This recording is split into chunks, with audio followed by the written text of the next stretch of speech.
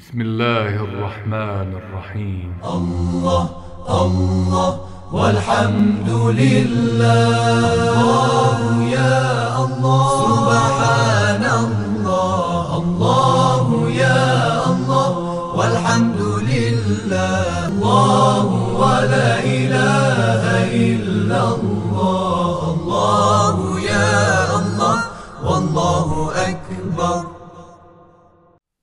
أعوذ بالله من الشيطان الرجيم. بسم الله الرحمن الرحيم. وبه نستعين. الحمد لله رب العالمين.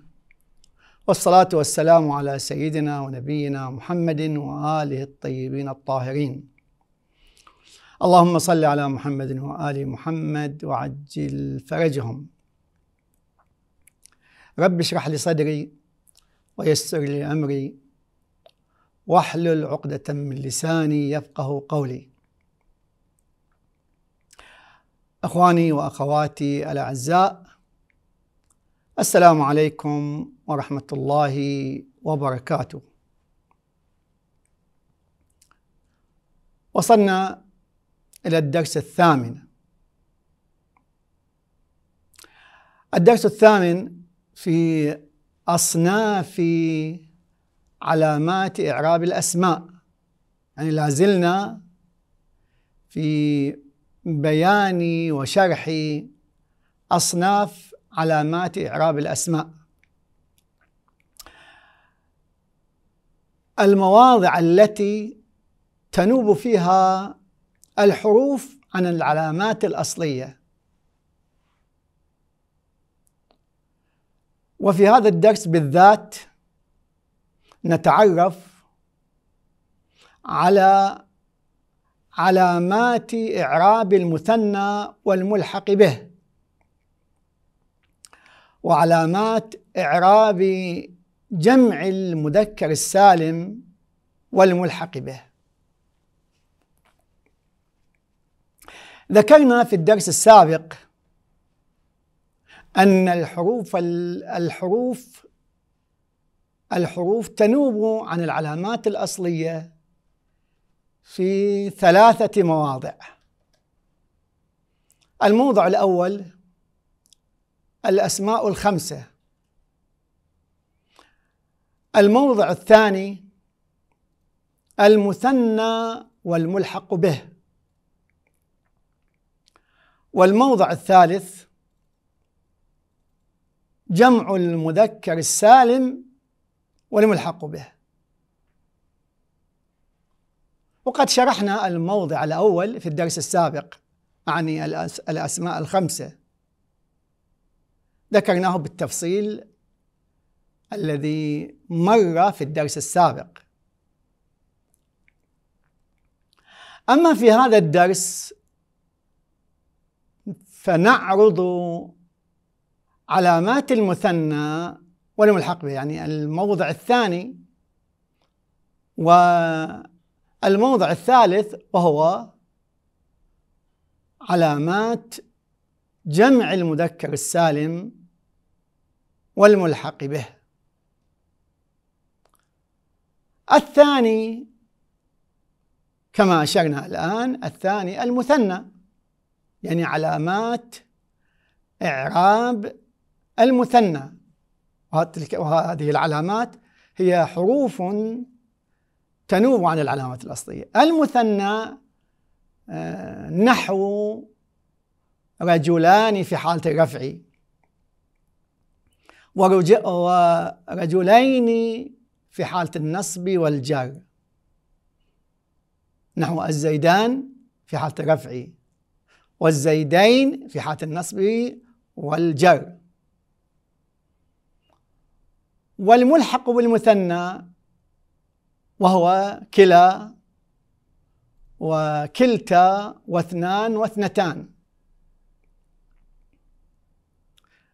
ففي هذا الموضع أعزائي الألف تنوب عن الضمة في حالة الرفع والياء تنوب عن الفتحة في حالة النصب وتنوب عن الكسرة في حالة الجر. فنقول جاءني جاءني الرجلان كلاهما. جاءتني المرأتان كلتاهما. وجاءني اثنان من الرجال واثنتان من النساء. هذا في حد الرفع تلاحظون أن في هذه الأمثلة الرجلان مرفوع. جاءني الرجلان. جاءني الرجلان. الرجلان فاعل بجاء وهو مرفوع علامة رفعه الألف نيابة عن الضمة. جاءني الرجلان. كلاهما. كلاهما مرفوع لأنه تأكيد تأكيد لرجلان فهو مرفوع حكمه حكم رجلان. مرفوع علامة رفعه ماذا؟ الضمة. آه، على عفوا علامة رفعه الألف نيابة عن الضمة. وهكذا جاءني اثنان من الرجال واثنتان من النساء. ورأيت الرجلين كليهما. هذا في حالة النصب. ورأيت المرأتين كلتيهما. ورأيت اثنين من الرجال واثنتين من النساء. وفي حالة الجر ماذا نقول؟ نقول مررت بالرجلين كليهما واثنين من الرجال ومررت بالمرأتين كلتيهما. واثنتين من النساء والإعراب واضح إن شاء الله نلاحظ أن في حالة النصب الياء تنوب عن الفتحة وكذا في حالة الجر الياء تنوب عن الكسرة فالياء في الموضعين تكون ماذا؟ الياء في حالة النصب تنوب عن الفتحة في حالة الجر تنوب عن الكسرة. ولكن يشترط في إعراب كلا وكلتا يشترط في إعرابهما إعراب المثنى يعني يكونان ملحقين بالمثنى. يشترط فيهما أن يكونا مضافين إلى الضمير كما لاحظتم في الأمثلة. لأنه إذا أضيف إلى الاسم الظاهر فإعرابهما يكون بالحركات المقدرة. مثلا نقول جاءني كلا الرجلين فهنا كلا فاعل لجاء مرفوع وعلامة رفع الضم المقدر على الألف. فالألف ليست علامة الإعراب فيكون كالاسم المقصور. فالإعراب يكون ماذا؟ بالضم المقدر. يعني الرفع يكون بالضم المقدر على على الألف. جاءني كلا رجلين ورأيت كلا الرجلين كلا الرجلين. فهنا كلا الرجلين كلا مفعول به منصوب. وعلامة علامة نصب الفتحة المقدرة على الألف. لأنه مضاف إلى الاسم الظاهر. ومررت بكلا الرجلين كذلك كلا هنا مجرور بالكسر المقدرة على الألف. وهو مضاف الرجلين مضاف إليه. كما نقول جاءتني كلتا المرأتين. ورأيت كلتا المرأتين ومررت بكلتا المرأتين. فهنا كلتا معرب بالحركات المقدرة لأن المضاف إلى الاسم الظاهر. في المثال الأول مرفوع بالضم المقدر على الألف. هو جاءتني كلتا المرأتين. في المثال الثاني رأيت كلتا المرأتين منصوب كلتا منصوب بالفتح المقدر على الألف. وكذلك مررت بكلتا المرأتين مجرور بالكسر المقدر على الألف. فيعرب إعراب ماذا؟ إعراب الاسم المقصور. يكون إعرابه مقدرا. على أي حال هذا هو الموضع الثاني الذي تنوب فيه الحروف عن العلامات الأصلية. الألف تنوب عن الضمة في حد رفعي والياء تنوب عن الفتحة في حالة النصب وعن الكسر في حالة الجر أما الموضع الموضع الثالث فهو جمع المذكر السالم والملحق به. جمع المذكر السالم نحو مسلمون في حالة الرفع ومسلمين في حالة في حالة النصب والجر وهكذا مثلا نقول الزيدون جاءني الزيدون فالزيدون مرفوع في حالة الرفع هذا الزيدون في حالة الرفع نقول الزيدون والزيدين في حالة النصب والجر والملحق به ما هو؟ أولو في حالة الرفع وأولي في حالة النصب والجر وهكذا العقود. من عشرين إلى خمسين. نقول عشرون ثلاثون أربعون. بل خمسون إلى آخره. في حالة الرفع بالواو. وفي حالة النصب والجر نقول عشرين ثلاثين أربعين وخمسين وهكذا. طبعا هناك أيضا ألفاظ أخرى ملحقة بالجمع المذكر السالم. مثل ماذا؟ مثل أهلون. وكذا عالمون. عليون هذه أيضا ألفاظ تعرب أعراب جمع المذكر السالم ولكن ليست جمعا جمع مذكر سالم لأنها لم تستوفي شروط جمع المذكر السالم. طبعا شروط جمع, المذكر السالم لم تذكر هنا. إن شاء الله في درس آخر.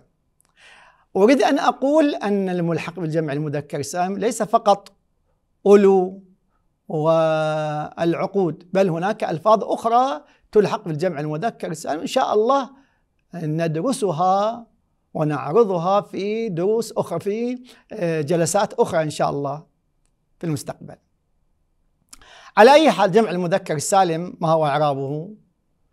جمع المذكر السالم ونلحق به يرفع بالواو نيابة عن الضمة في حالة الرفع وينصب بالياء نيابة عن الفتحة في حالة يعني بلي وتنوب وتنوب الياء تنوب الياء عن الفتحة تنوب الياء عن الفتحة في حالة النصب وهكذا تنوب الياء عن الكسرة في حالة الجر يعني يرفع بالألف نيابة عن الضم عن الضمة. وينصب ويجر بالياء نيابة عن الفتحة ونيابة عن الكسرة. فنقول جاءني مسلمون وزيدون جاءني مسلمون جاءني الزيدون. نعم. جاءني أولو مال جاءني عشرون من الرجال. في هذه الأمثلة نلاحظ هذه الكلمات رفعت بالواو نيابة عن الضمة.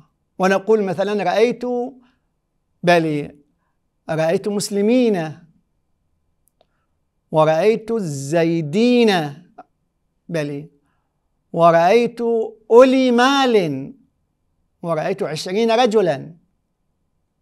تلاحظون أعزائي أن هذه الكلمات منصوبة بالياء. نيابة عن الفتحة. كما نقول مررت بمسلمين والزيدين مثلا وأولي مال مررت بأولي مال. وسلمت على عشرين رجلا. تلاحظون أن هذه الكلمات في حالة الجر جرت بالياء. فإنها مجرورة بالياء نيابة عن الكسرة. واضح هذا إن شاء الله. أعزائي من خلال الأمثلة نفهم أن ونعلم أن النون في المثنى مكسورة أبدا. رجلين نقول. رجلين. رجلان. بل الزيدين اثنين. نعم. ولكنها في الجمع جمع المذكر السالم والملحق به يعني ماذا تكون؟ ماذا تكون؟ مفتوحة النون مفتوحة. نعم. طبعا هذه النون هي عوض عن تنوين بلي. ولذا إذا أضيف الاسم سواء كان جمعا أو مثنى إذا أضيف إلى ما بعده فالنون تحذف. إذا النون في المثنى مكسورة أبدا. وفي جمع المذكر السالم مفتوحة. إن شاء الله اتضح هذه المطالب. واضحة سهلة. فقط بقي علينا أن نطبق ماذا؟ نطبق العبارة. تابعوا معنا. ولاحظوا المؤشر. أقرأ العبارة. بلي. الدرس الثامن أصناف علامات إعراب الأسماء. في هذا الدرس ماذا ندرس المواضع المواضع التي تنوب فيها الحروف عن عن العلامات الأصلية. طبعا في الدرس السابق درسنا موضعا وما هو؟ هو الأسماء الخمسة. ففي هذا الدرس نتعرف ماذا؟ نتعرف في هذا الدرس على ما يلي. أولا علامات إعراب المثنى والملحق به. الموضع الثاني علامات إعراب جمع المذكر السالم والملحق به. ذكرنا في الدرس السابق أن الحروف الحروف أن الحروف تنوب عن العلامات الأصلية في ثلاثة مواضع. طبعا لا يخفى عليكم كما درسنا في الدرس في الدروس السابقة أن الإعراب الفرعي والنيابي على ماذا؟ على قسمين. تارة هناك حركة تنوب عن حركة وذكرنا مواضع نيابة الحركات عن العلامات الأصلية. نعم. والقسم الثاني حروف تنوب عن عن الحركات عن الحركات الأصلية عن العلامات الأصلية. وذلك في ثلاثة مواضع. درسنا موضع. نعم وبقي موضع وبقي موضعان ندرسهما هنا. لذا قلنا ذكرنا ذكرنا في الدرس السابق أن الحروف تنوب عن العلامات الأصلية في ثلاثة مواضع. الأسماء الخمسة. هذا الموضع هذا موضع. الموضع الثاني. المثنى والملحق به. الموضع الثالث. جمع المذكر السالم والملحق به. وقد شرحنا الموضع الأول في الدرس السابق. وأما في هذا الدرس فنعرض علامات الموضع الثاني والثالث. نعم. الموضع الثاني. المثنى. نحو رجلان. طبعا رجلان في حالة الرفع عزائي واضح هذا؟ ورجلين في حالة النصب والجر. والملحق به وهو كلا وكلتا واثنان واثنتان. اثنان واثنتان في حالة ماذا؟ في في حالة الرفع. اثنين واثنتين في حالة النصب والجر. كما أن كلا وكلتا في حالة الرفع. وفي حالة النصب ماذا؟ نقول كلي كلتي كليهما كلتيهما. تنوب فيه في هذا الموضع يعني الألف عن الضمة رفعا يعني في حالة الرفع وتنوب الياء عن الفتحة نصبا يعني في حالة النصب. وعن الكسرة يعني عن عن الكسرة في حالة جرا يعني في حالة الجر. تقول جاءني الرجلان كلاهما. لاحظوا المؤشر؟ هذا المؤشر بلي الرجلان كلاهما. يعني كيف نعرب هذه الجملة الآن؟ نقول جاء فعل ماضي مبني على الفتح. النون نون الوقاية. الياء مفعول به أو منصوب بنزع الخافض. الرجلان فاعل مرفوع علامة رفعه الألف نيابة عن الضمة. كلاهما كلاهما تأكيد معنوي. يأتي بحث التوكيد إن شاء الله في التوابع. مرفوع علامة رفعه الألف نيابة عن الضمة لأنه مضاف إلى الضمير. وجاءني اثنان من الرجلان. جاءني اثنان فاعل اللي جاء مرفوع علامة رفع الألف. نعم. من الرجلين جار مجرور يتعلقان بمحذوف صفة الاثنان لاثنان. ورأيت رجلين كليهما. الرجلين مفعول به منصوب. علامة نصبه ماذا؟ الياء نيابة عن الفتحة. كليهما تأكيد لرجلين منصوب. علامة نصبه الياء نيابة عن الفتحة. ورأيت اثنين من الرجال. واضح إن شاء الله الإعراب. ومررت بالرجلين. الرجلين مجرور بالباء. وعلامة جره ماذا؟ الياء نيابة عن الكسرة. كليهما تأكيد لرجلين مجرور. علامة جره الياء نيابة عن الكسرة. وهكذا مررت باثنين اثنين مجرور بالباء وعلامة جره الياء نيابة عن الكسرة. من الرجل من الرجال. اعلم أن كلا وكلتا يعربان بالحروف لكن بهذا الشرط. بشرط إضافتهما إلى الضمير لأنهما إذا أضيفا إلى الاسم الظاهر يكون إعرابهما بالحركات تقديرا يعني بالحركات المقدرة على الألف. ألف كلا وألف كلتا. نعم إذا أضيف إلى الاسم الظاهر. نعم جاءني كلا الرجلين مرفوع بالضم المقدر على كلا. وجاءتني كلتا المرأتين. نعم الإعراب واضح. ورأيت كلا الرجلين وكلتا وكلتا المرأتين. ومررت بكلا الرجلين وبكلتا المرأتين. تلاحظون هنا الإعراب تقديري ليس بالألف ليس بالياء. نعم. بالألف المقدرة بالكسرة المقدرة عفوا بالكسرة المقدرة على الألف. وليست الألف فيهما علامة إعراب. نعم. الموضع الثالث جمع المذكر جمع المذكر السالم. جمع المذكر السالم. هذا السالم صفة لجمع. ما لا نقرأ هكذا. جمع المذكر السالم خطأ أعزائي. خطأ. هكذا نقرأ جمع المذكر السالم خطأ. لأن السالم ليس صفة للمذكر بل صفة ماذا؟ لجمع. إذا نقول جمع المذكر السالم. نحن مسلمون في حالة رفع ومسلمين في حالة النصب والجر نعم. والملحق به. نحو أولو في حالة رفع وأولي في حالة النصب والجر والعقود. أيضا هذا من الملحق بالجمع المذكر السالم. العقود ما هي؟ من عشرين وهي من عشرين إلى تسعين. طيب في هذا الموضع ما هو الإعراب؟ ماذا ينوب؟ عن العلامات الأصلية. قال تنوب الواو فيه عن الضمة رفعا. نعم. وتنوب الياء عن الفتحة نصبا يعني في حالة النصب. وتنوب عن الكسرة جرا يعني في حالة الجر. تقول جاءني ماذا؟ مسلمون. وعشرون رجلا. وأولو مال. تلاحظون أن مسلمون عشرون أولو. هذه الكلمات مرفوعة وعلامة رفع وعلامة رفعها الواو نيابة عن الضمة رأيت مسلمين وعشرين رجلا وأولي مال تلاحظون هذه الكلمات منصوبة.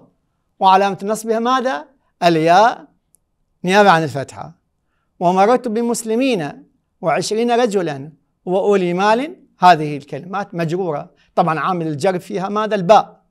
نعم لأنه مسلمين مجرور بالباء وعشرين معطوف على مسلمين وأولي معطوف على مسلمين وحكم معطوف والمعطوف عليه واحد.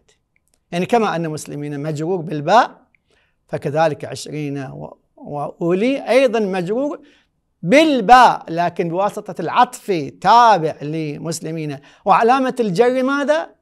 علامة الجر الياء. بلي علامة الجر الياء نيابة عن الكسرة. نعم. تنبيه اعلم أن نون التثنية مكسورة أبدا في جميع أبدا في حالة الرفع في حالة النصب في حالة الجر في تمام في جميع الحالات نون التثنية مكسورة. نعم لذا اعلم أن نون التثنية مكسورة أبدا. معنى أبدا يعني في جميع الحالات حتى رفع النصب. نقول جاءني رجلان. رجلان النون المكسورة. رأيت رجلين مررت برجلين النون المكسورة. هذا معنى أبدا. ونون الجمع مفتوحة أبدا. يعني أبدا يعني في حالة الرفع في حالة النصب في حالة الجر تقول جاءني مسلمون جاءني الزيدون. مررت بالزيدين بالمسلمين بلي رأيت المسلمين مررت بالمسلمين نعم. النون مفتوحة أبدا. ويجب حذفهما يعني حذف النون. يعني نون التثنية ونون الجمع لأن عوض عن التنوين. فإذا أضيف المثنى أو أضيف الجمع إلى ما بعده النون تحذف كما أن التنوين تحذف. لذا يجب حذفهما عند الإضافة. نحو جاءني غلام زيد الأصل غلامان جاءني غلامان أو الغلامان فلما أضيف إلى زيد النون حذفت. نقول جاءني غلاما زيد. فغلامان مرفوع لأنه فاعل. علامة رفعه الألف نيابة عن الضمة ومضاف وزيد المضاف إليه. حذفت النون في الإضافة. كما نقول جاءني مسلم مصر. مسلم مصر. فمسلم فاعل مرفوع علامة رفعه الواو. هو مضاف ومصر مضاف إليه. مجرور علامة جره الفتح نيابة عن الكسر لأنه ممنوع من الصرف. نعم للعلمي للعلمية والتأنيث مثلا. نعم. وهنا حذفت ماذا؟ حذفت النون من المسلمون بسبب الإضافة لأنها ماذا؟ عوض عن التنوين. هذا والسلام عليكم ورحمة الله وبركاته. دمتم موفقين إن شاء الله. اللهم صل على محمد وآل محمد. اللهم صل على محمد وآل محمد. اللهم صل على محمد وآل محمد.